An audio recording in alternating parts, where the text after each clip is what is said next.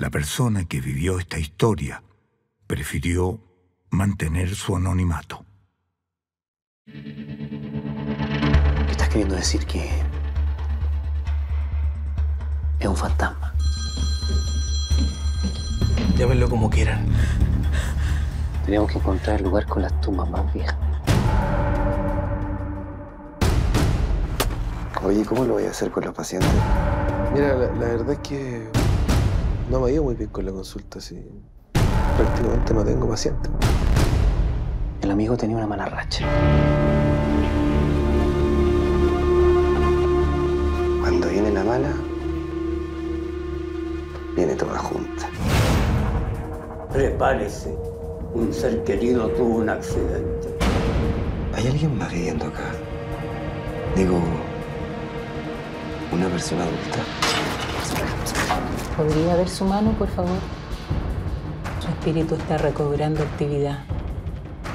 Esta persona falleció hace poco más de medio siglo. Dijo que podía empezar a cobrar vidas humanas.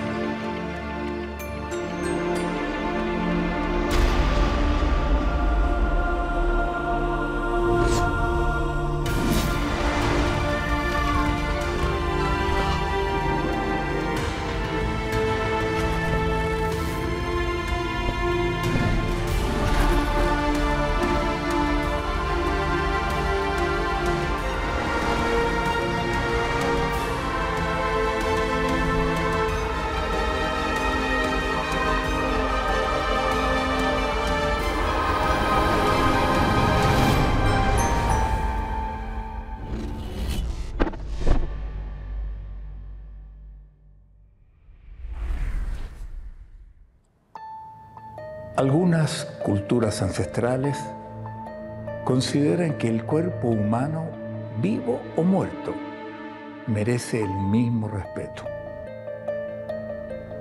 Muchos que han violado esta regla dicen que han percibido el malestar de los difuntos. Aseguran haberlos visto levantarse de sus tumbas con el solo afán de cobrar venganza. ¿Será esto posible? No se trata de creer o no creer, sino simplemente entender que un hecho de estas características podría sucederle a usted el día menos pensado.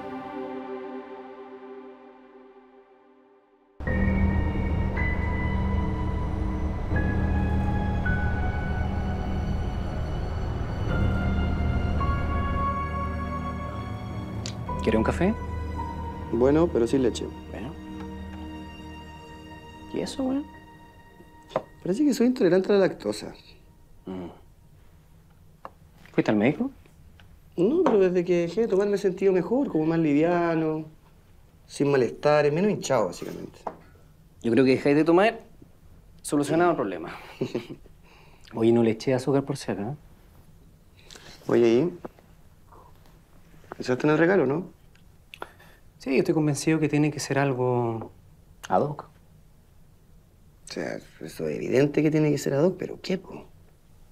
Algo relacionado con su, con su profesión de psiquiatra. Difícil. No creo que sea un buen regalo regalarle una máquina de encefalograma, o no sé, una, una camisa de fuerza. ¿Sabes que yo siempre asocio una consulta a un psiquiatra con una cabeza de yeso donde se diferencian colores las partes del cerebro? Ñoño igual. Pero ya, ya que estamos en esa. ¿Y si le regalamos un cráneo? Un cráneo. Interesante, ¿eh? A ver. El otro día iba pasando por una tienda y unos de goma que son idénticos a los reales. ¿Cómo le vamos a regalar uno de goma, uno de juguete? weón? ¿Y qué, queréis regalarle uno de verdad? ¿Y por qué no? Ya. ¿Y dónde se consiguen esas weas? No sé. En la morgue pienso, no sé. En la morgue. Vaya a tener que ir tú entonces, porque yo ni cagando me meto en la morgue. Ya, pero estamos claros que un cráneo es un buen regalo para su consulta. O sea, obvio, pues es, no sé, novedoso, original. Se daría cuenta que nos costó un montón conseguirlo. Pero yo ya te dije que te transfiero la plata y vas tú, porque ni cagando me meto allá. Sí. No, yo no creo que en una morgue vendan cráneo. Bueno, y entonces, ¿cómo nos conseguimos uno, pues, hombre?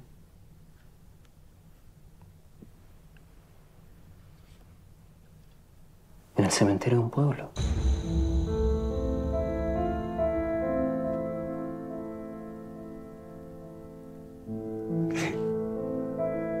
¿Qué estás hablando en serio? Sí, ahí hay tumbas que están viejas, abandonadas, donde ni siquiera sus familiares los van a ver. Porque están todos muertos. Esta historia nos lleva a escarbar en los cimientos del alma humana. No saben con qué se van a encontrar, pero sea lo que sea, deben actuar con rigor y prisa para darles curso a sus deseos. Para Tiago, diseñador, y su amigo Alan, ingeniero, el fin justifica los medios.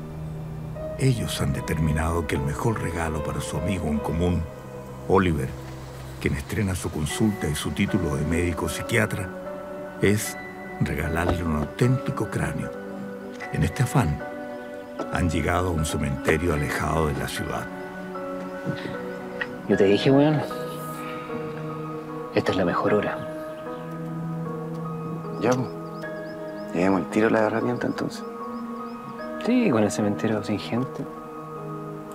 Va a ser más fácil.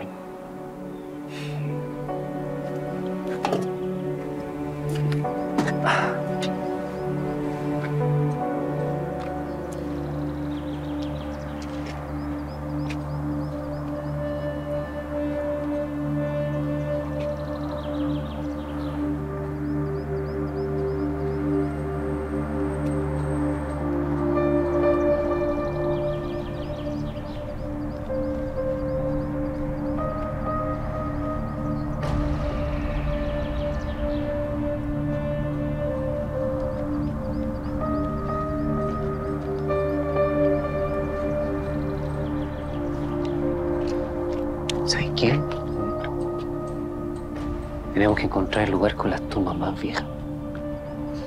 Es grande la weá. ¿eh? Oye, ¿y ¿cuánto tiempo más o menos tiene que pasar para que, para que el cráneo esté como lo necesitamos?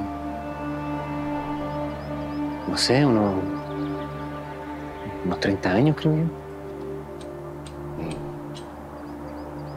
Mira, para irnos a la segura, yo creo que busquemos uno que lleve más de 50 años.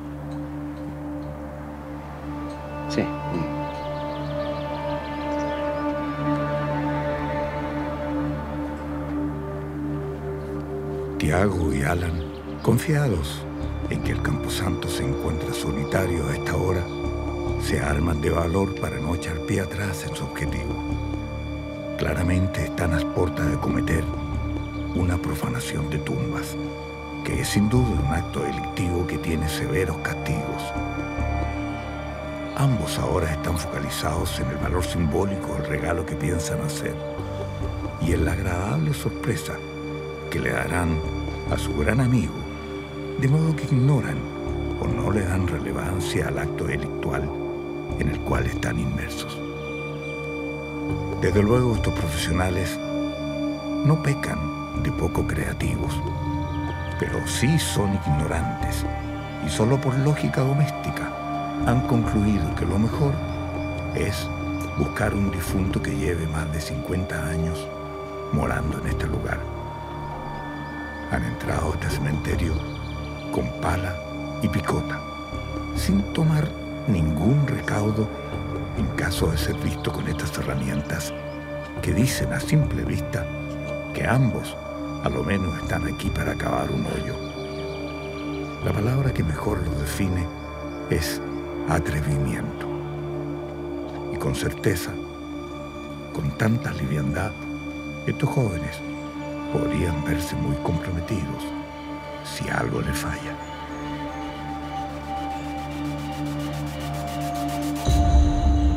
Parece que esta tiene más de 50 años. Sí. Bueno, ¿y qué hacemos? Vamos. Vamos. Han elegido el lugar casi por instinto. Y si bien han sido lacónicos en su hablar, no pueden negar que cada uno tiene una cuota de temor oculto que no se atreve a develar al otro. Se diría que están jugando a ser valientes y corajudos, pero en rigor, de buenas ganas, si uno de ellos alzara la voz abortando la operación, su compañero levantaría de inmediato el dedo acatando la idea. Lo cierto es que ya no hay manera de revertir este inusual procedimiento que lo llevan a cabo a plena luz del día, con un riesgo de marca mayor para su integridad como profesionales exitosos. Mientras cavan, sin aún ver la luz al final del túnel, Tiago y Alan dan muestras de total confusión y desconocimiento respecto a la diferencia que existe entre lo que es una mirada de niño comparado con una tan infantil como la que están realizando ahora. La primera, la de niño, es cándida e inocente. La segunda, la infantil, es impetuosa e irresponsable.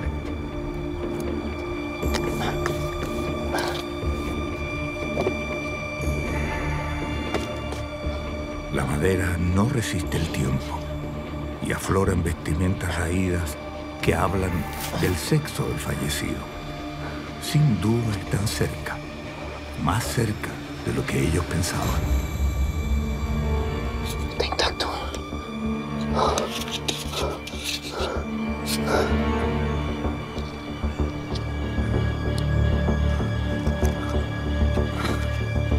No sabían si alegrarse o no, pero el proceso llegaba a su fin.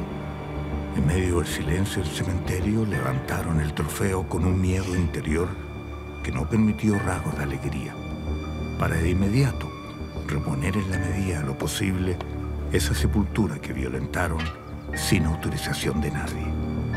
No hubo tiempo para arrepentirse, ni cordura para mencionar que la calavera de una persona con nombre y apellido cambiaba su sueño eterno al interior del ataúd para convertirse quizás en un atractivo adorno sobre el escritorio de un psiquiatra.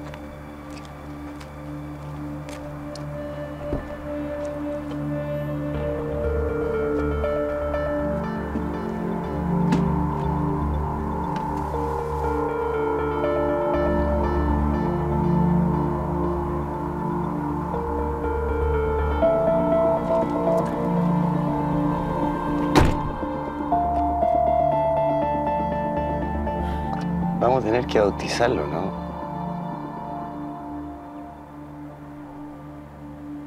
Pongámosle el nombre que tenía en la cruz. ¿O no? Bartolomé. ¿Así se llama?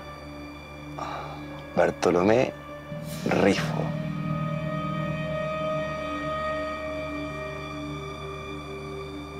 Bartolo.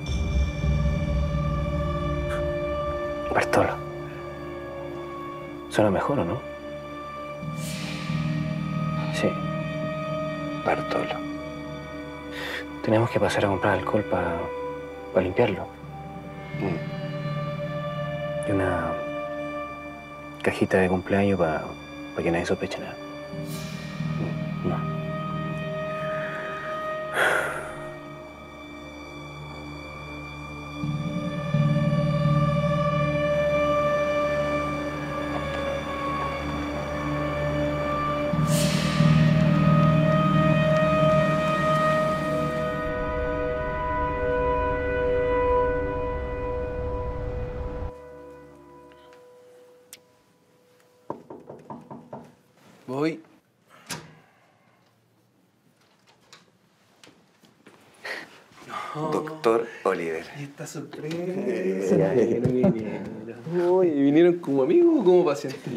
Amigo, no sé, te hago. Ah, Compadre. qué Felicidades. bueno que vinieron. Le trajimos un regalo. ¿Verdad? Oye, pero pasen, pasen. Siéntense. Eh, ¿Les ofrezco un cafecito? Bueno, si quieren también vamos a almorzar después por acá cerca. ¿No, un cafecito? ¿Sí? Sí, sí. ¿Sí? Sí, sí, sí. Eh, pr- primero, es un regalo hecho con mucho cariño. Espero que te guste. A decir verdad, fue difícil decidirlo. Y sobre todo, encontrarlo. ¿Te gusta o te gusta? Porque ese no tiene etiqueta de cambio.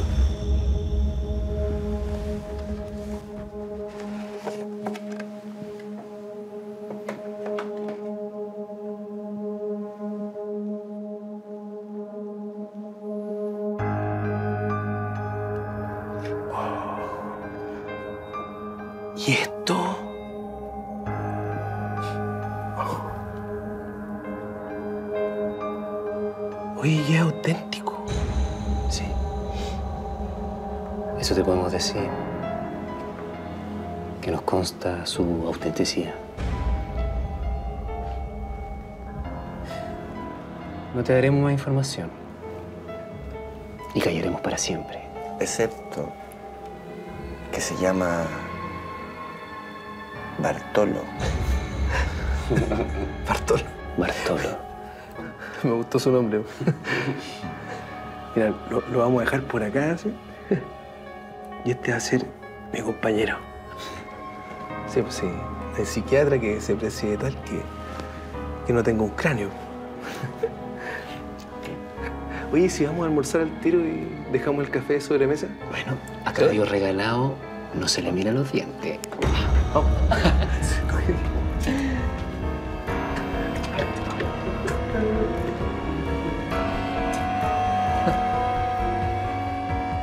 El título de Oliver como médico psiquiatra el estreno de su consulta privada son eventos que sus padres no podían dejar pasar. Adela, su madre, está esperando a su esposo Mauro para festejar precisamente ese momento memorable. Mi amor, estoy acá arriba por si acaso.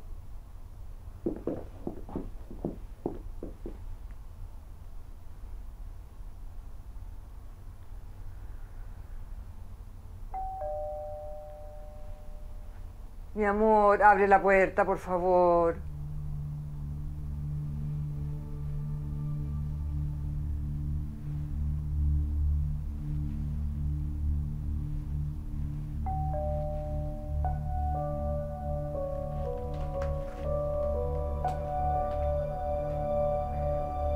Mauro.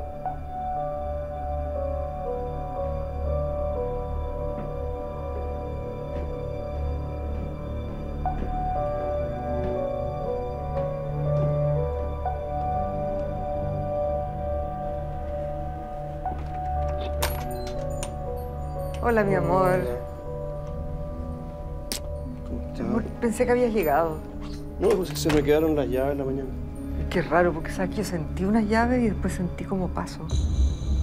¿Cómo? A ver, eh, déjame echar un vistazo.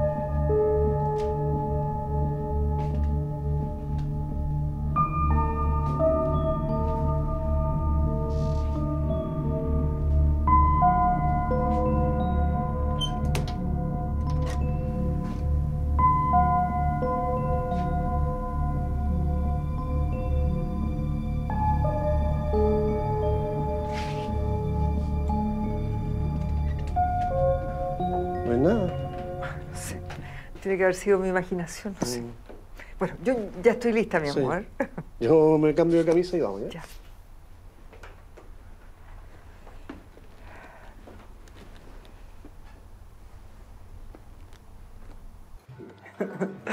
Ay, son tantos años de estudio, mi amor. Oye, el otro día nos acordábamos con tu papá, que parece que fue ayer, cuando te llevamos al jardín la primera vez. Yo me quedaba afuera. Sí, porque si te ponías a llorar, quería estar ahí. Ajá, y tú también ibas, ¿no? No, yo tenía que trabajar, se quedaba ella sola. No, no me quedaba sola, nos quedábamos un montón de mamás, todas por si acaso.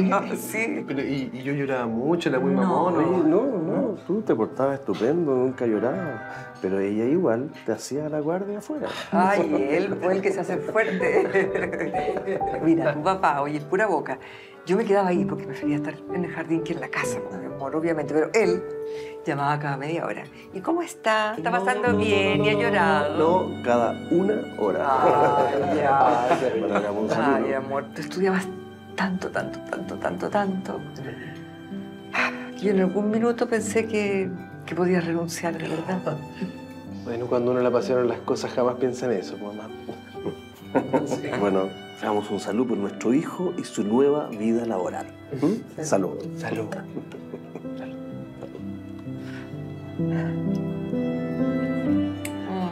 Ay, mamá, te emocionaste. Pero si estamos pasa es que- celebrando. Ay, amor, no es eso, es alegría. Es, es que no lo puedo creer, estoy tan orgullosa de ti. Yo pensé que este día nunca iba a llegar.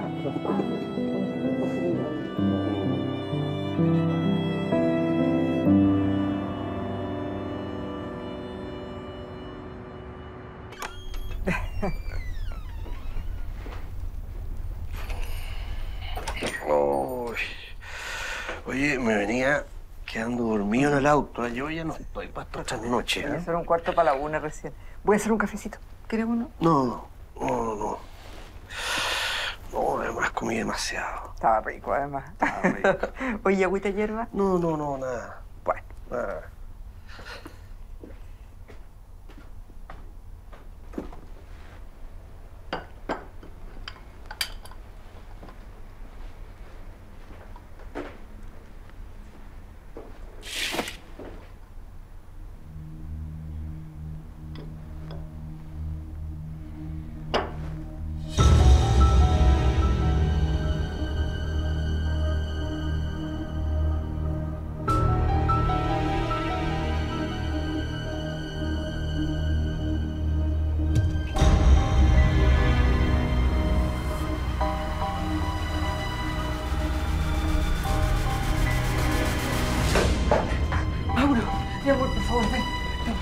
Hombre en el living, ven. ¿Qué pasa?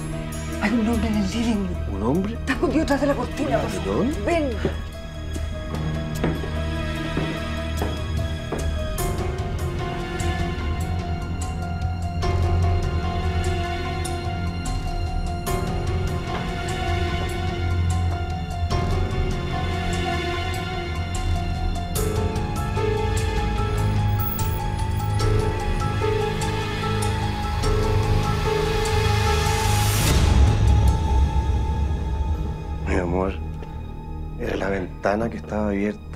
Seguramente la brisa corre un poco lo- la cortina nada más. Mi amor, ese hombre me miró y sabe que también yo lo vi. Pero ¿no será que tú estás viendo y sintiendo cosas donde no las hay? Mira, no estoy loca para andar viendo y sintiendo cosas que no hay en la casa. Pero dime, Adela, ¿cuántos años llevamos viviendo en esta casa y nunca ha pasado nada? Por eso es raro. Y cuando nos fuimos al restaurante, tú también me dijiste que había, había sentido a alguien, ¿no? Sí. ¿Estás segura? ¿Pase? Don Oliver, ¿su papá se encuentra acá? Ah, que pase. Adelante, por favor. Hola, gracias. Bueno, Pasa, pasa. ya que nadie me invita, tuve que venir a conocer esto. ¿no? Ya, pero eso va a ser para la inauguración, pues viejo. Eh, ¿Saliste más temprano hoy día? Sí, me arranqué. Oye, está bien bonito esto, ¿eh? Está bueno, me gustó. Sí, todavía le falta un poco, pero la otra semana yo creo que ya estamos listos. Oye, y ahora lo que viene es cambiar esa moto por un buen auto, ¿eh? Mira, quizá tengo un auto, pero la moto no la voy a soltar. Oye, pero imagínate un paciente que viene a verte. Yo prefiero que tú entres en auto que, que en moto. Sí, por eso me estaciono atrás. Oye, todo esto, ¿cómo ha estado mi mamá? Ah, bueno, eso quería... Eso quería decirte. ¿Qué pasó? ¿Está enferma? No, no, no, nada de eso. Entonces, Mira, lleva varios días bastante preocupada. Y dos veces me, me ha dicho que, que siente cosas extrañas en la casa. ruidos. ¿Pero qué, qué tipo de ruidos? ¿La- ¿Ladrones? ¿Qué? Bueno, eso pensaba en principio, ladrones, qué sé yo. Pero no. Son cosas extrañas, más cercanas a lo paranormal, ¿no? Y tú sabes que yo soy escéptico con eso. Pero ella también es escéptica con esas cosas, o sea... De hecho, que yo me acuerde, cuando yo vivía en esa casa nunca pasó nada raro o algo extraño. Mira, justamente, po. mira, la primera vez fue cuando yo, ella me sintió llegar con mis llaves y que yo di unos pasos y yo no había llegado todavía. Llegué, revisé y no encontré nada sospechoso. Y la segunda vez eh, aseguraba haber visto a alguien detrás de la cortina. Yo vi y no había nadie. A ver, pero lo que tú me estás diciendo es que quizás el problema es ella. No, no, no, yo te estoy traspasando cómo fueron los acontecimientos. Y no hay ningún antecedente de alguna vez que haya pasado algo en la casa. Ya, pe- pe- pero honestamente, ¿tú has visto que la mamá tiene alguna conducta rara o no sé, está extraña? Le he puesto bastante atención últimamente ¿eh? y no, no veo ningún rasgo distinto a su conducta habitual. Bueno, quizás está estresada nomás y está preocupada por algo. No, pero yo no te quiero traspasar a ti un problema, solo, solo quería comunicártelo. ¿Y, ¿Y cuándo empezó todo esto? Esto fue cuando fuimos al restaurante, ¿te acuerdas? Esto fue antes de ir a comer y después. Pero ese día, viejo, la mamá anda... Mano, tú cachai, está sensible. O sea, entre mi título, la consulta, tú cachai. Quizás en verdad no hay, no hay nada que preocuparse.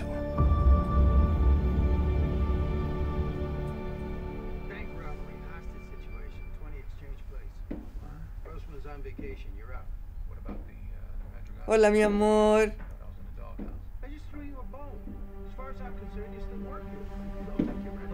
Sin duda, para Adela la partida de su hijo único Oliver de la casa la ha tenido estresada y teme evidenciar ese sentimiento del nido vacío a su esposo.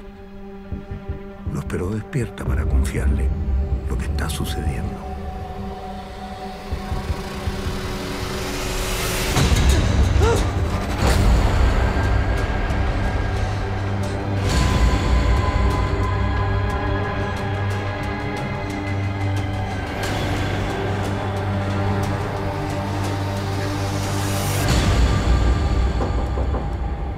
Pase. Doctor, don Sergio Urrutia canceló su visita. Eh, bueno, dígale al siguiente paciente que pase. No tenemos más pacientes.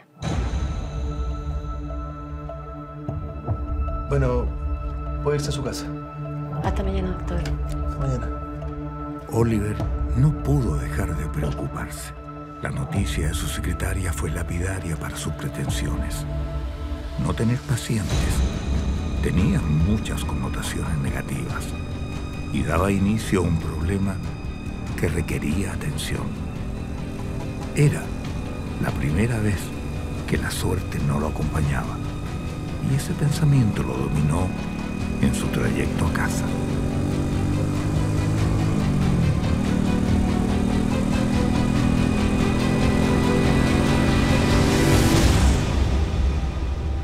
Entre tanto, su madre no lograba advertir que en su hogar comenzaba a tener moradores que la acechaban sin contemplación.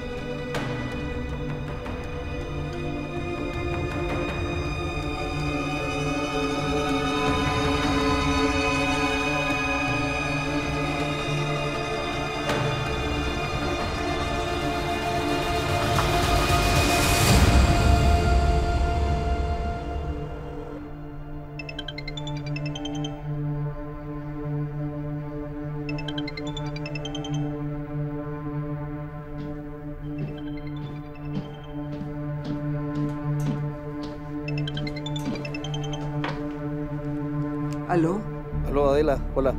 Mauro, ¿qué pasa? Oye, te paso a buscar en 10 minutos para ir a la clínica. Oliver tuvo un accidente en moto, está en urgencia.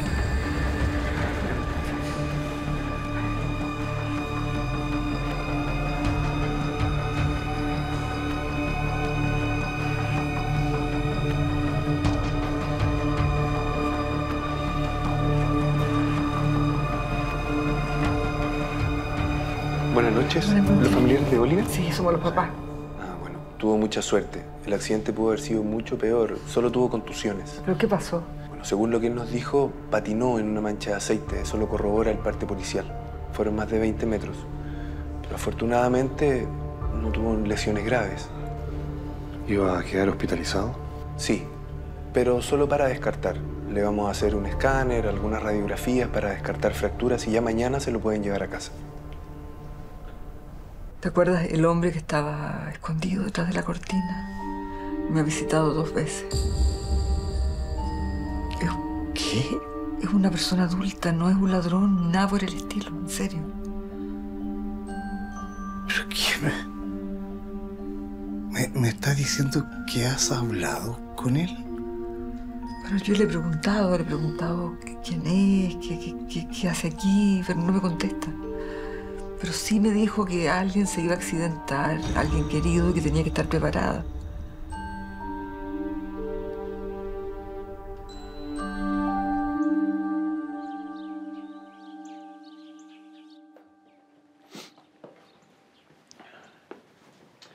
¿Y cómo han estado, muchachos?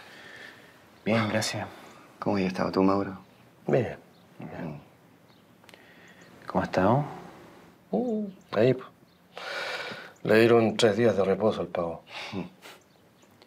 Suban a verlo, está en la pieza. Ujú.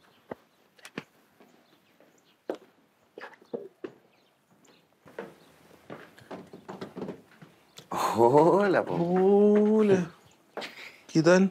¿Cómo están enfermo? Aquí. Supe que te resfalaste con una mancha de aceite. Si es que se cruzó un perro y no lo puedo evitar. po. Así que, bueno, ahí tuve que frenar, pero... Oye, pero siéntense, o sea, ¿le le ofrezco algo? No, no te preocupes, pues yo me hago un café. Ah, bueno. Igual la sacaste barata. ¿eh? No sé, yo te imaginaba todo enyesado, con alguna costilla rota por lo menos. Así que cuando frené, me arrastré como 20 metros y estuve a punto de llegar a un semáforo que está en, en rojo. Y ahí sí que no le estaría contando esto. Yo pensaría en cambiarme un auto en, en invierno. Mi papá me dijo exactamente lo mismo el día antes del accidente. Oye, ¿cómo lo voy a hacer con los pacientes? Mira, la, la verdad es que no me ha ido muy bien con la consulta, sí. Prácticamente no tengo pacientes. ¿Y te encarillaste mucho con el banco? Con mi papá. Sí, y hasta ahora está muy difícil para poder devolverle la plata. Bueno, así se parte. Sí. Voy a tener que tomar un turno de media jornada en un hospital clínico que no quería. Quizá Bartolo te da buena suerte. Yo pensaba lo mismo. Oye, y- y a todo esto, ¿de dónde sacaron el cráneo ustedes? Se cuenta el milagro, pero no el santo. Eso es secreto de Estado.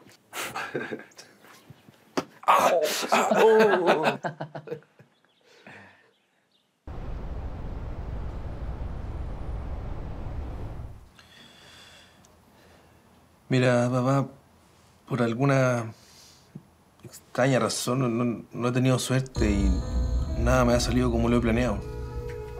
Y por eso quería hoy día hablar contigo y decírtelo a la cara. Mm. ¿Estás preocupado por el préstamo que te hice? Sí, yo creo que este mes no. No voy a poder pagarte la plata. Ah, pero no te hagas problemas. Es importante que sepas que ese dinero no, no, no cuento con ese dinero en lo inmediato. Así que tómate el- todo el tiempo que, que tengas para, para pagarlo. Gracias, viejo. Pero tú sabes que a mí no me gusta fallar con mis compromisos. Sí, yo lo sé, pero. Pero mira, ya vendrán tiempos más tranquilos. Así que relájate. Sí. No, sí, gracias, de verdad. No sé, pero mientras tanto estoy pensando en que si se hace conocida la consulta, bueno, voy a tomar medio tiempo en un hospital clínico. Mira, pero eso es lo mejor que ha salido en esta conversación, pues. y aunque yo no soy del rubro, bueno, eso te va a ir dando horas de vuelo y así te vas a conocer, ¿no? Sí, bueno, tengo una reunión la otra semana y nada, pues ahí voy a ver cómo me va y te cuento.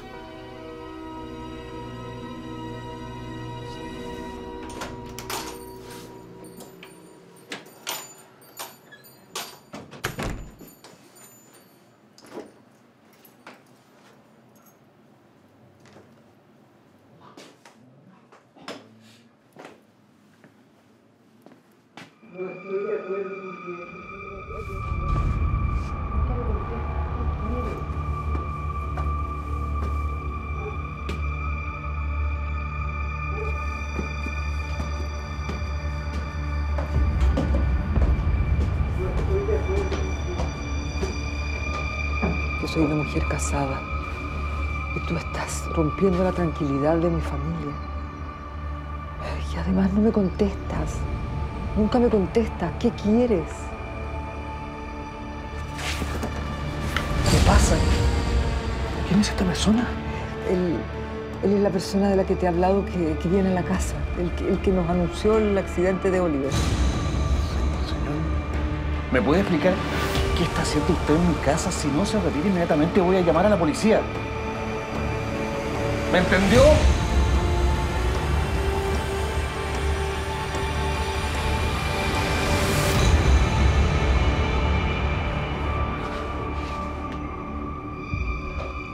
Pero... ¿Cada cuánto se le ocurre venir?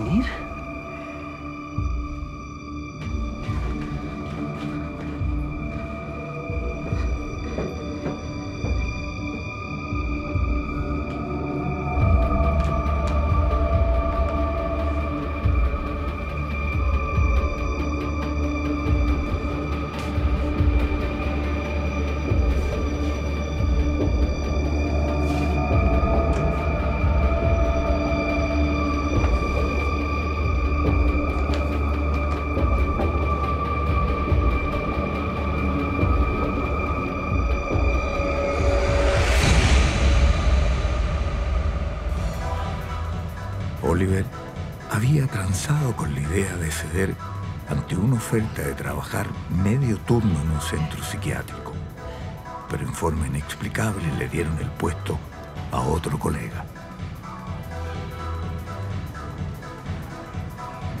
Lo único que te digo es que no tomes decisiones apresuradas. La presión es muy mala consejera. ¿m? Ya, hablamos. Chao.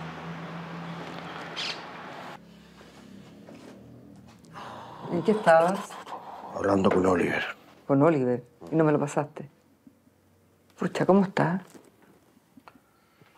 Fue una entrevista al hospital psiquiátrico, que había una posibilidad de pega de medio turno y le fue mal, está de muerte. Pobrecito. Pucha, que le ha costado salir adelante. Mm. Primero no tiene paciente de la consulta. Después choca en moto y ahora esto de la pega. Se le pasa por la cabeza que está fatalizado en este último tiempo. Mauro, mira, el hombre me avisó que Oliver iba a tener un accidente en moto y que no iba a resultar lo del trabajo. Ahora, o sea, me estaba hablando de Oliver. Lo, lo- lo que yo no entiendo es cómo. ¿Cómo se refería a Oliver si, si ni siquiera lo, lo conoce? Y todo eso lo dijo antes de que sucediera. Yo creo que tenemos que hacer algo. ¿Y qué tan mal lo viste? No sé si mal es la palabra. Lo vi desalentado. De un mes a esta fecha, toda esa energía que irradiaba desapareció. Qué raro. Digo, un psiquiatra, ¿no? Alguien que, que estudia la mente. Que esté cagado en la cabeza es como. No sé, un contrasentido. No. Yo no digo que esté cagado la cabeza. De hecho, tiene todos los sentidos bien puestos, razona bien. Yo creo que le preocupa todo lo que le ha pasado. No, no, no, no. No entiendo a qué te refieres. No es que esté pensando tontera, el amigo tenía una mala racha. Tuvo un accidente en moto donde casi se mata. La moto quedó hecha mierda. Perdía total. Y no tiene seguro, güey. Mm, Sí, sí, eso es verdad. La consulta no funciona y tenía todas las fichas puestas ahí. Y cuando lo llaman para una pega, lo llaman para la reunión, lo descartan.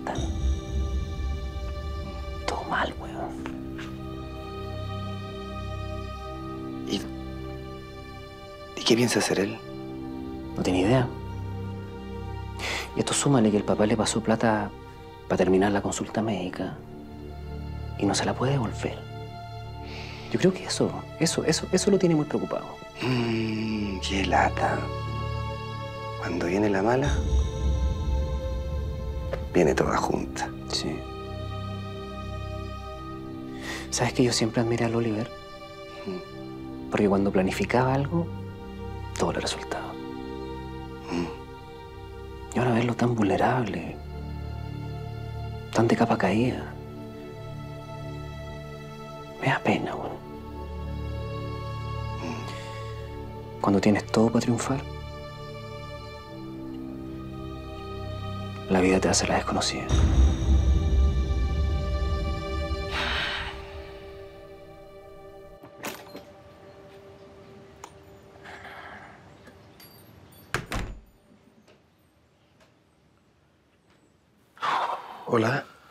Hola. Hola, mi amor. ¿Cómo va todo? No ha aparecido, pero igual yo lo siento deambular por la casa. Oye, estuve averiguando por internet, buscando una persona a quien acudir. ¿Acudir? ¿De qué estás hablando? Alguien que nos pueda ayudar, que, que sepa de estas cosas.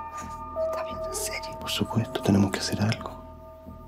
Si no tomamos este tema en serio, vamos a tener que vender esta casa. Ya, pero tú ya hablaste con esa persona. Sí, la llamé por celular y nos dijo que nos va a atender. Nos puede dar una hora mañana. ¿Tú crees que esa persona puede sacarlo de la casa? No sé, pero por lo menos nos va a escuchar y nos puede recomendar a alguien. No nos podemos quedar de brazos cruzados. No, pero tú le tienes miedo. ¿Miedo? Pasa es que no podemos normalizar su presencia acá.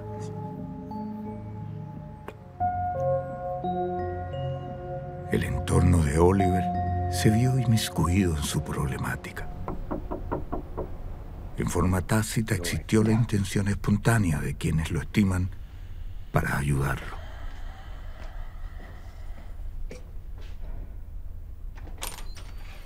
Hola, muchachos. Hola, ¿cómo están? Adelante. Muy bien, gracias. Permiso. Sí, justo estamos tomando un, un tecito. Gracias, permiso. Adelante. Hola. ¿Cómo estás, Adela? Hola, Adela. ¿Quieren un té, un café? No, no, no, muchas gracias. ¿No? Oye, eh, Oliver no está. ¿eh? Sí, lo sabemos. Venimos a hablar con ustedes. ¿Lo han visto? Bueno, Tiago lo ha visto, yo no, no he tenido la oportunidad, pero sabemos que no. que no está muy bien. Sí. Ha estado muy angustiado. Ya que tenía un mes horrible. Creo que tenemos que hacer algo. Sí, yo he hablado con él para que esté tranquilo y tome la- las decisiones correctas. ¿Tú sabes algo más? Después que supimos que no está muy bien, tratamos de comunicarnos todos los días con él. Pero la mala racha no lo suelta. ¿A qué te refieres?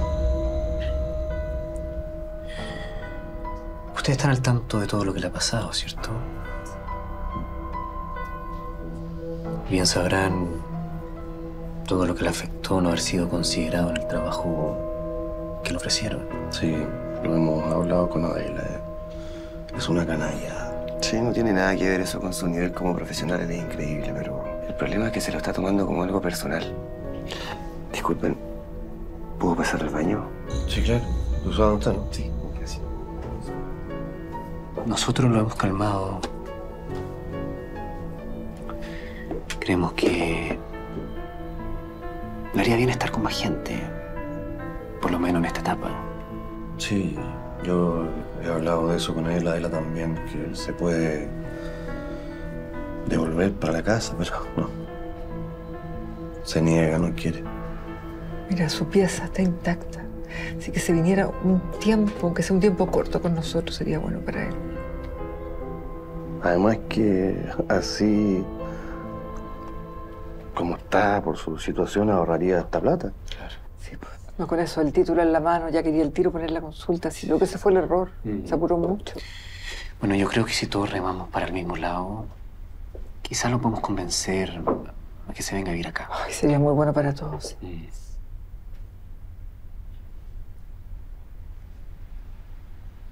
Disculpen, eh, ¿hay alguien más viviendo acá? Digo,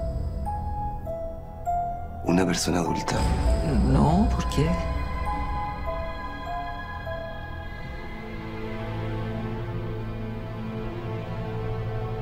Es que cuando iba a entrar al baño, vi a una persona mayor.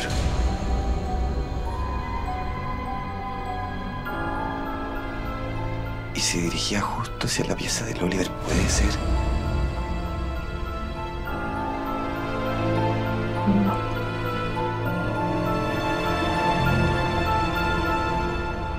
Todo lo que ustedes me están contando, ¿es primera vez que les sucede o tiene algún precedente en el tiempo? Llevamos años viviendo en esa casa. Nunca había pasado nada, nada. Lo que le confiamos nos ocurre desde hace un mes más o menos.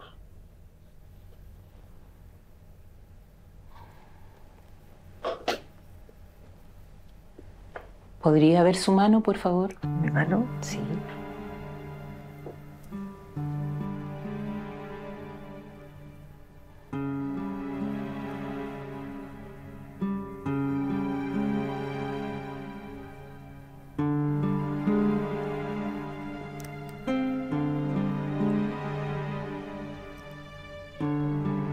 Permite ver la suya?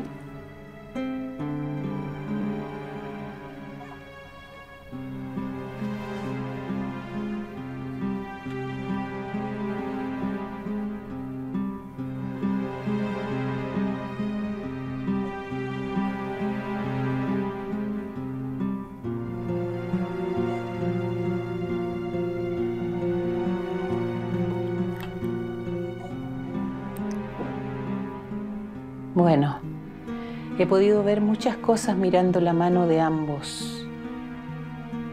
He visto, por ejemplo, que tienen un hijo único. Sí, Oliver es psiquiatra.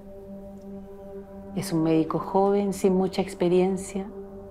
Sí, él se acaba de titular. También pude ver una persona adulta que convive con ustedes hace algún tiempo. Esta persona falleció hace poco más de medio siglo. ¿Sabían eso? No.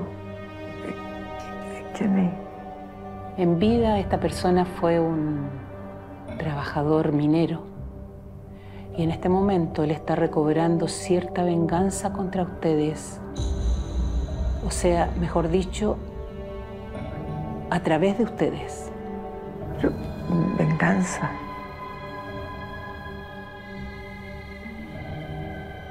Él está muy molesto. Necesita recobrar su paz. ¿Y qué tenemos que ver nosotros con eso? Puede que en forma directa, no mucho. Pero en forma indirecta puede que sí. Perdón, pero ¿podría ser más clara?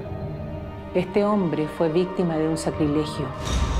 Un sacrilegio. ¿Qué le sucedió? Esta persona fue despojada de su cráneo en un cementerio. Eso es un sacrilegio. Eso lo podemos entender, pero ¿qué vinculación tenemos nosotros con ese hecho? Su espíritu está recobrando actividad. Él necesita que su cráneo vuelva al lugar donde estaba en el cementerio. Y si ustedes no conocen lo que está pasando, tienen que buscar una respuesta en su entorno.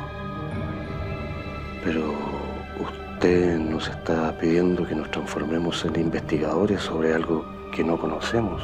Sí. ¿Podría ver sus manos juntas acá, por favor?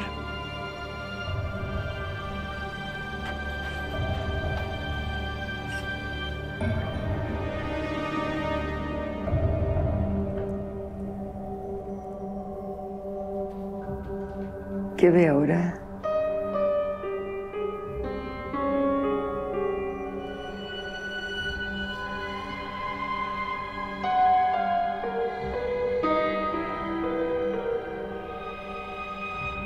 Bueno, yo solo puedo orientar una búsqueda y puedo entender el distanciamiento que ustedes tienen sobre lo que origina la presencia de este ser entre ustedes. Pero les he confiado el motivo por el cual lo tienen como morador. Mire, nosotros no sabemos qué hacer. No tenemos responsabilidad sobre el malestar de esta persona. ¿No le parece que él debiera de atacar a quien tenga ese cráneo, como dice usted? Seguramente él ya lo está haciendo. Lo único grave de esto es que ustedes tienen que encontrar el hilo de esa madeja en el menor tiempo posible. Están contra el tiempo. ¿Cómo es eso? Tienen que ser capaces de, en un corto plazo, solucionar todo esto. De lo contrario, él puede tomar una vida a cambio. Conozco muchos casos como este. Los padres de Oliver han recibido una suerte de sentencia, ya que ellos han venido a consultarla para que los oriente en su problema y ahora se retiran con la increíble misión de tener que investigar. Ay, no me puede negar que ella adivinó que Oliver es hijo único, que es un doctor joven. Sí, está bien, pero es increíble después de todo lo que nos dijo que terminemos siendo nosotros los que tenemos que investigar algo que no nos compete. Ya puede ser, pero ¿qué nos cuesta averiguar? Es una chanta. No nos dijo nada importante. Pero ¿sabes cuál es el asunto aquí? Es cómo sacamos a ese tipo de nuestra casa. Con todas las cosas difíciles que está pasando Oliver, yo creo que no podemos contarles lo que está pasando con nosotros ahora. No. No, no podemos. Sería un caos para él. Sí. Ahora igual, lo que decía Tiago tiene razón, porque lo vayamos a ver y tratemos que se venga un tiempo con nosotros.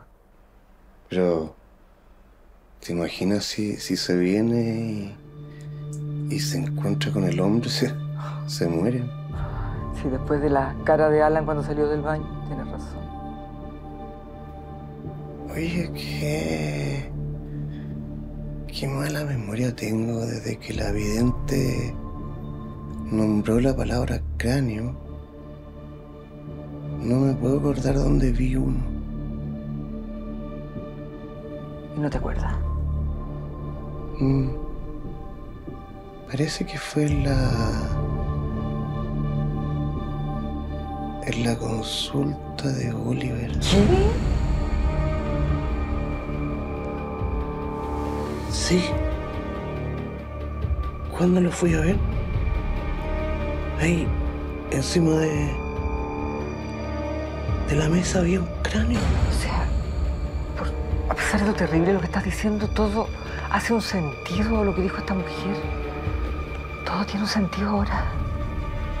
Todo calza.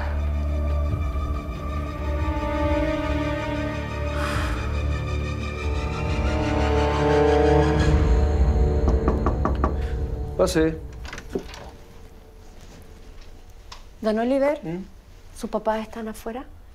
Eh, dígales que pase. Adelante, por favor. Gracias. Hola, mi amor. Te vinimos amor. a ver. Pase, pase. Hola.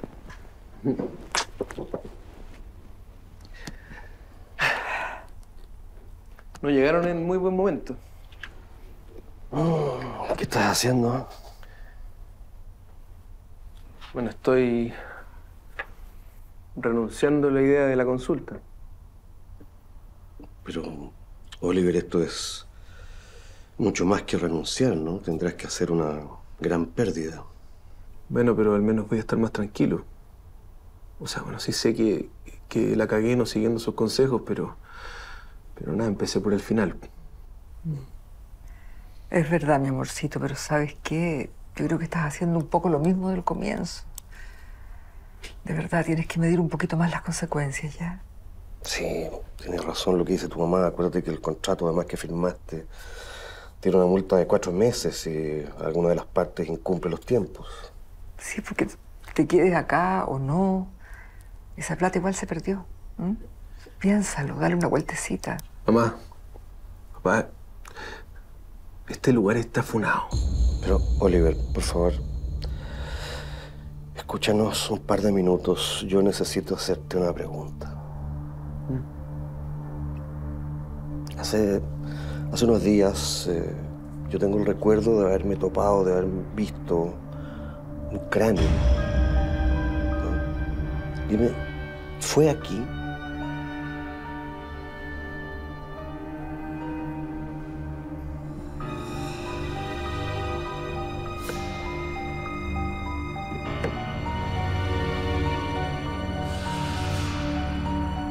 ¿Te refieres a este?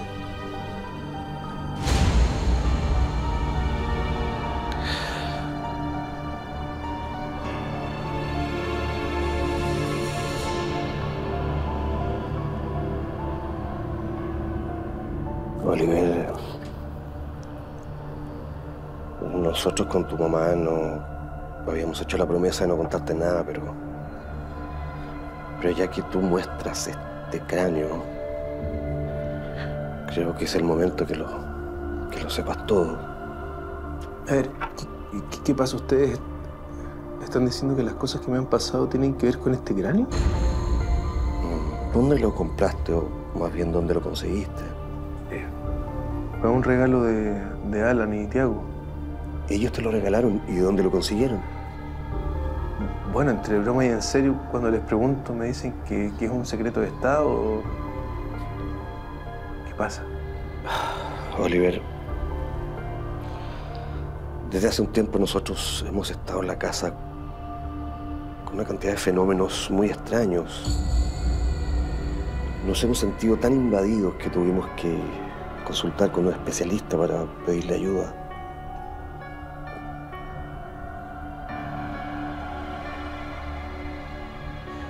Y, esa persona va a estar en paz solamente cuando ese cráneo vuelva al lugar de donde se sacó y así termine esa maldición. Y eso tiene que ser rápido, Oliver, porque esta persona puede cobrar una vida humana por ese llamado sacrilegio que le, que le ocurrió.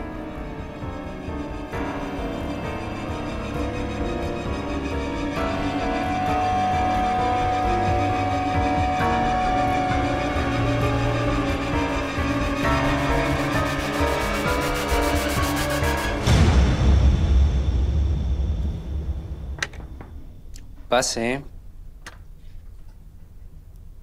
Oliver, ¿cómo está ahí? Bien. Necesito hablar con ustedes. Sí, eh, ¿quería un cafecito? No. Eh, ¿Están ocupados? No, no, no. ¿Qué pasa? Te, te noto preocupado. Sí, disculpen, es que después de que les diga me van a entender. sí. Sí, sí, somos, somos todo oídos.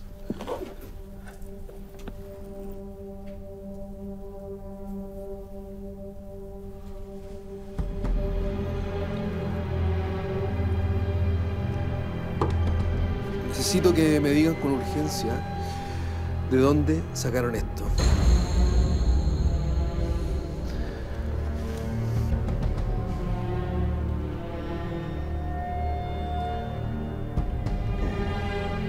Decimos? Siempre pensamos que era el regalo infaltable en tu trabajo.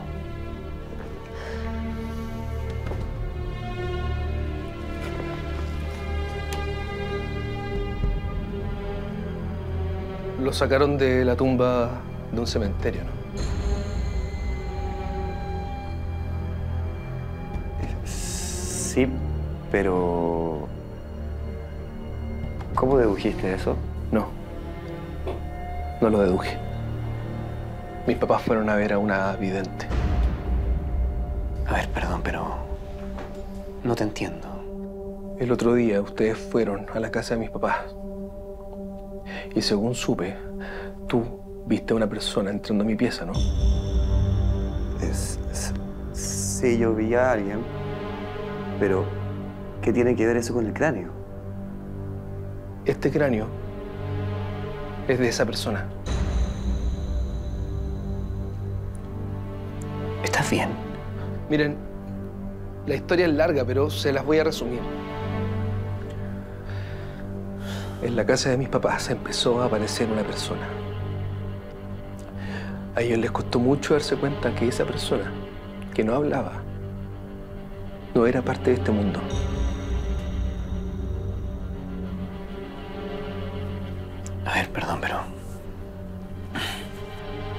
Queriendo decir que...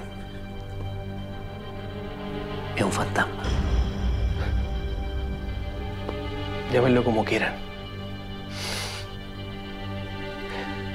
Pero esa persona empezó a ser un visitante permanente en la casa de mis papás. Fue él quien les dijo que yo iba a tener un accidente en moto y todo el resto de las desgracias que han pasado.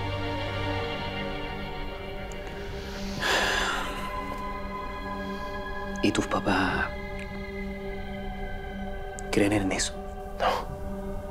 No, no, para nada. De hecho, a ellos les costó mucho asumir lo que les estaba pasando.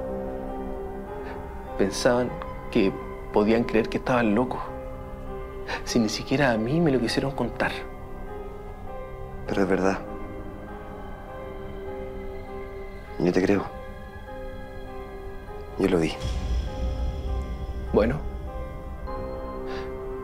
mi papá decidió tomar el toro por las astas y fue a ver una vidente. ¿Y qué les dijo?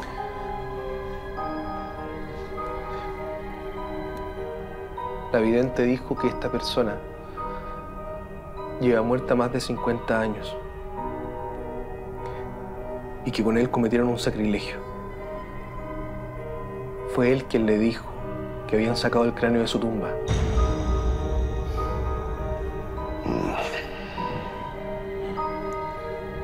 Bueno, ¿y?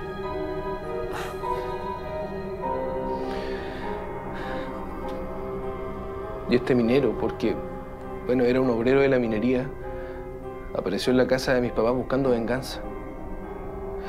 Primero apareció en mi casa porque yo tenía el cráneo, después con mis papás y ahora está en búsqueda de ustedes.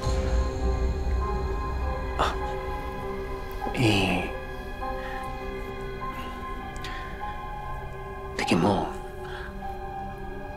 Miren, no es para asustarlos, ¿ah? Pero si ustedes no devuelven este cráneo lo antes posible, la vidente dijo que podía empezar a cobrar vidas humanas. Ella dice que han habido casos similares que, bueno, seres que se han sentido ofendidos llegan a ese extremo.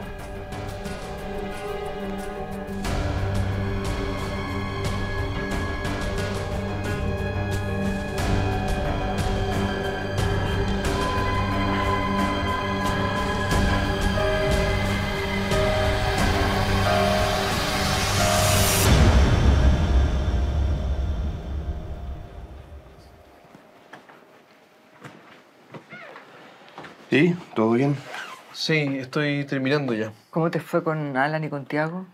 Les expliqué y lo entendieron. Sobre todo Alan, que, bueno, vio a ese hombre desaparecer al frente de él. Le diste el cráneo para que lo devuelvan. Sí. Incluso me confesaron que fueron ellos quienes sacaron el cráneo de la tumba. ¿Pero cómo? ¿Y saben que están contra el tiempo? Sí. ¿Sí? Les dije que esta venganza podía cobrar vidas humanas. Oliver, ¿cuándo lo van a devolver? Esta historia adquiere ribetes de loca fantasía y nos plantea la duda de llegar a pensar que semejante hecho es, a los ojos de un ser común y corriente, una aberración. No obstante, el relato que inspira este caso es aún más espeluznante.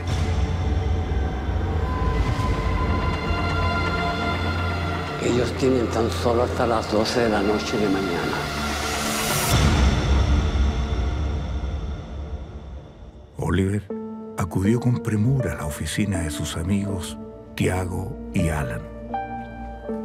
Es de perogrullo pensar que todos están corriendo riesgos y desea ponerlos sobre aviso. Luego de tocar con insistencia a la puerta, debe resignarse a suponer que llegó atrasado y que sus amigos ya van en camino en afán de cerrar la misión. El tiempo para llegar a destino es suficiente, de manera que por lo pronto ignorar la sentencia que pesa sobre ellos, si es que no regresan con esa parte del esqueleto, no es relevante, ya que todo indica que en menos de un par de horas estarán en el cementerio. ¿Qué pasó?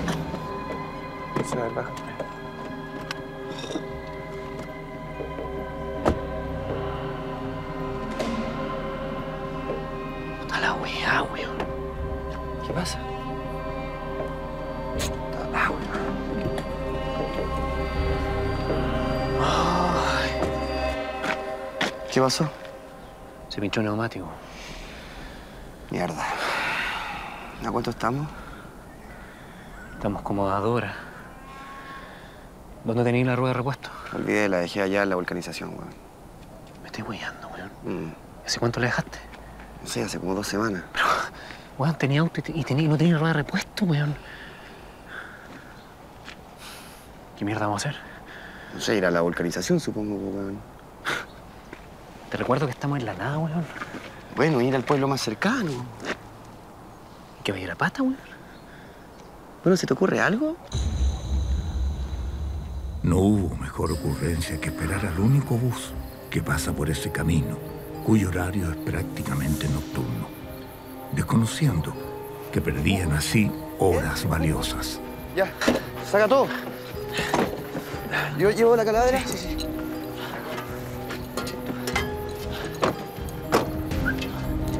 Páralo, páralo, sí. ¡Eh! ¡Eh! ¡Ya! ¡Eh! Amigo. Bien. Bien, weón.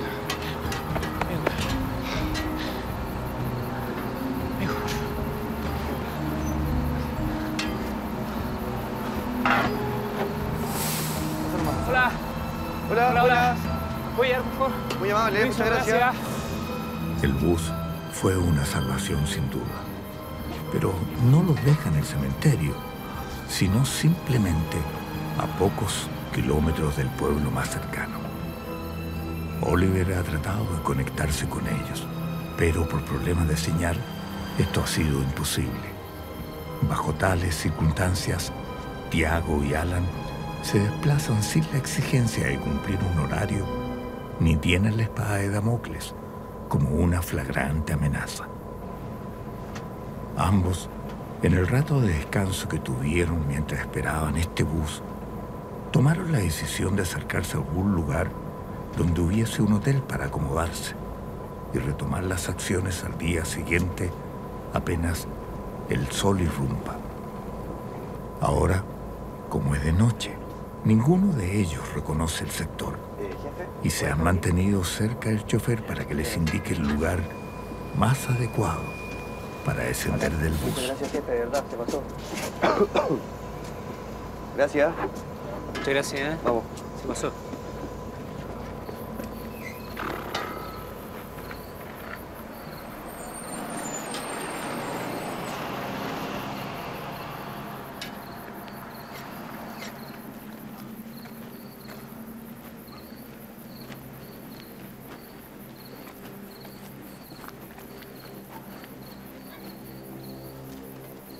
Situación se ha tornado difícil para estos jóvenes, ya que deberán caminar demasiado para aproximarse a un lugar poblado.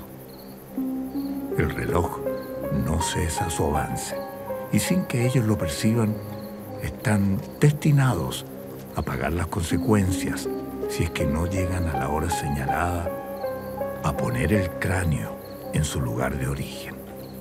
Lo triste que no están enterados de aquella sentencia y probablemente si no tienen noticias al respecto, podría ser que lleguen al cementerio a cavar su propia tumba.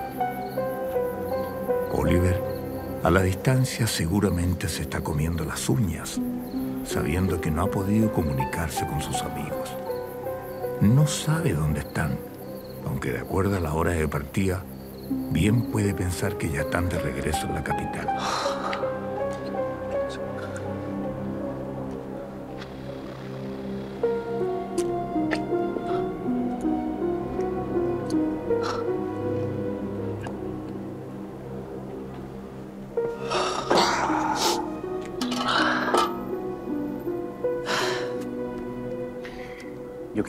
Que a dormir acá. Acá, acá en la plaza. Estáis locos. Tampoco creo que haya un hotel por acá cerca. Bueno, no sé, ¿habrá algún hostal, alguna residencial? Bueno, no sé, No sé. preguntémosle a alguien. Disculpe, ¿Eh? Dígame. ¿a cuándo está el cementerio acá? ¿Cementerio? Sí. Está un poquito lejos de aquí. Pero lejos. Lejos. ¿Cuánto es lejos? Como una hora más o menos. Oiga, ¿y no habrá, no sé, un, algún hotel por acá, algún lugar para quedarse? Ah, ¿Las estrellas? Ya. Está aquí doblando la esquina. Bacán. Gracias, jefe, que le haya bien. Gracias. Bueno, mira lo que escribió Oliver. Mira.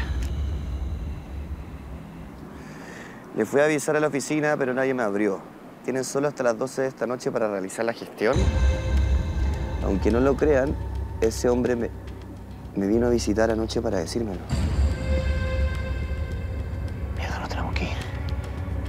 Pero, pero, pero, pero, pero no sabemos dónde está el cementerio, donde no hay nada, pues, hombre. Vámonos. Voy a poner la alarma a las 12. Eh, ya, ya, eh, va, bien el tiempo. vamos, vamos.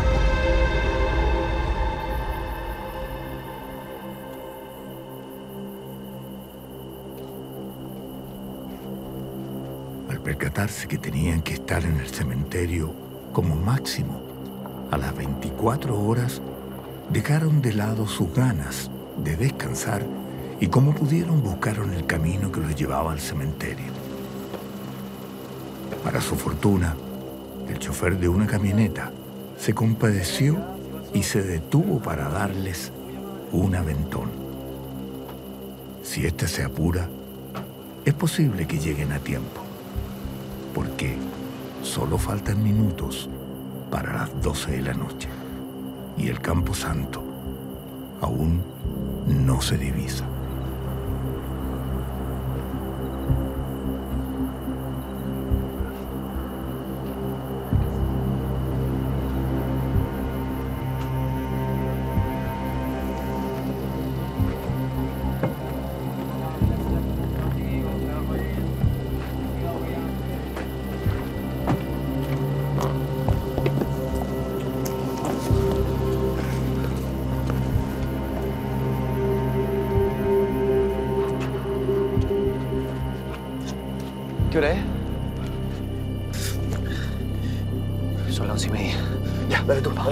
Dale tú, dale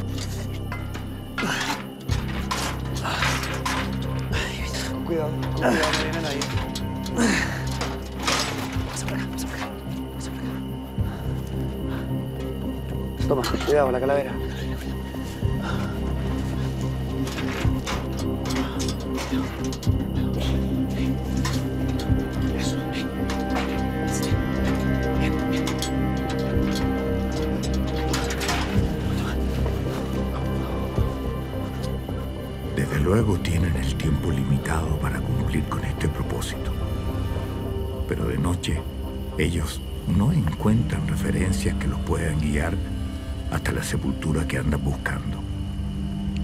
Los minutos parecen avanzar sin piedad y siente que están extraviados y desorientados. La luz de sus celulares es insuficiente para situarse con propiedad en el cementerio. El hecho de ver que no avanzan Oye, estoy seguro que era por acá. los tiene muy nerviosos. Sí, por acá. Mira. Sí, por acá. Por acá. Sin duda ambos amigos están angustiados. Y en este momento tan dramático, cabe señalar que la historia consigna una maldición especial para aquellos que violentan las tumbas. Se les desea la suerte de Judas Iscariote, quien por dinero traicionó a Jesús. Dicen que con ese capital se compró un campo y arrepentido se tiró de cabeza desde un árbol y su cuerpo se reventó quedando esparcidas en el suelo sus entrañas. Esto por cierto no lo saben Tiago ni Alan. Solo podrían conocerlo si es que el plazo se cumple y no alcanzan a dejar ese cráneo en la sepultura de Bartolomé.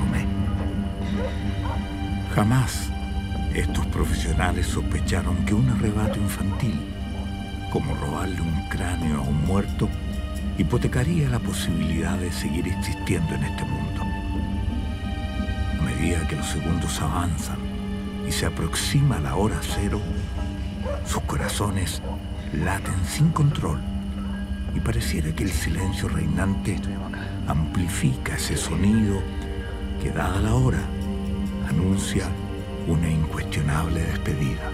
Vamos, vamos.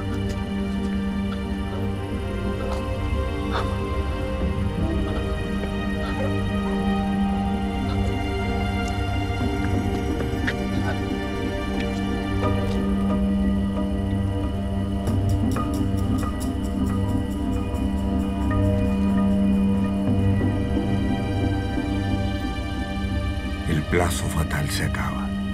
Ya no hay mucho que hacer. Y este desenlace parece la crónica de una muerte anunciada. Pero en forma sorpresiva aparece casi en forma milagrosa la tumba de Bartolomé ante sus ojos. Son los estertores de una sentencia que podría revertirse. El tiempo se acaba. No queda nada más que doblegar esfuerzos y gastar las últimas energías.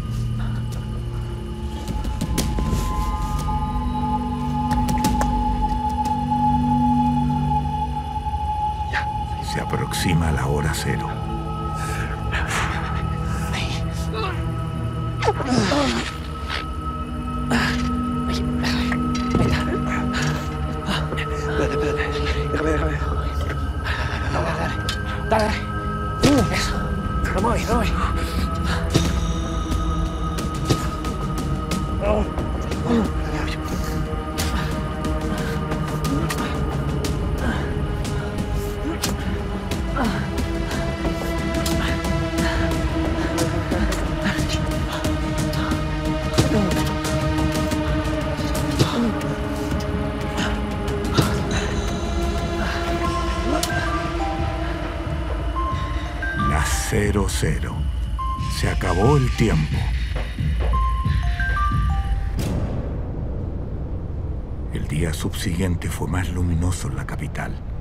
Pero hubo mucho miedo y espanto cuando Oliver leyó la prensa. Profanadores de tumbas mueren en su propia ley. Estos son momentos en que la vida nos hace una Verónica e intenta decirnos que uno, más allá de desconocer lo que pueda suceder a la vuelta de la esquina, no está preparado para esperar lo inesperado.